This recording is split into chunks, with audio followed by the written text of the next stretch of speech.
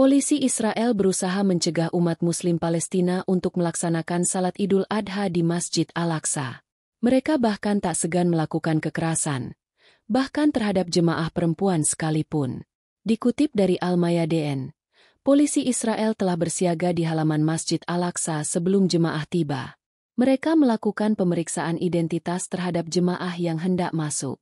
Selain itu, Polisi Israel juga mencegah pemuda Palestina untuk masuk karena jumlah jemaah dibatasi. Dilaporkan ada dua pemuda Palestina asal kota Silwat yang ditahan sebelum salat. Meski pembatasan sangat ketat, umat Muslim tetap melakukan salat Idul Adha di Masjid Al-Aqsa hari ini, Minggu, 16 Juni 2024. Departemen Wakaf Islam di Yerusalem mengatakan ada 40.000 jemaah yang menunaikan salat Idul Adha.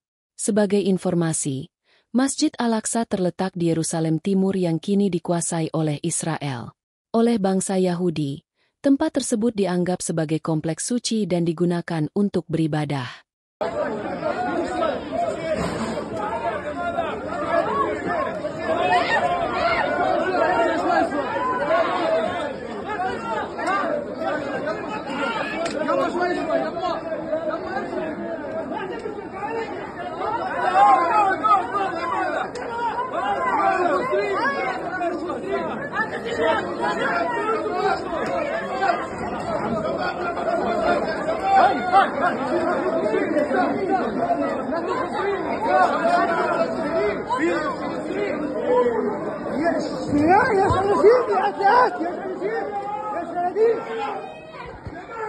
Download Tribun X sekarang.